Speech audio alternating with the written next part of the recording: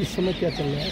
चबमल नदी नदी का इस समय गेज एक सौ बत्तीस पॉइंट पचास मीटर है जो कि खतरे के निशान एक सौ तीस पॉइंट उन्यासी से लगभग तीन मीटर ऊपर है। बात कितना पानी रिलीज़ किया गया है?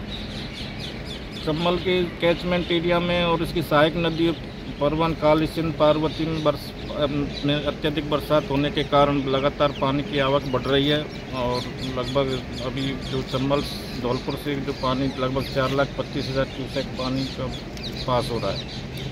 कितने गाँव प्रभावित होंगे? अगर पानी कितने मीटर तक जा सकता है? अगर ये सारा पानी आ जाएगा तो चंबल में अभी जो जिस तरह पानी का लेवल बढ़ रहा है ये कल सुबह पाँच बजे तक एक मीटर के लेवल पर पहुँचने की संभावना है। और इससे लगभग चम्बल के किनारे स्थित 10-12 गाँव धौलपुर ज़िले के प्रभावित होंगे। किस एरिया के से इसमें सरमुथरा ब्लॉक के हैं।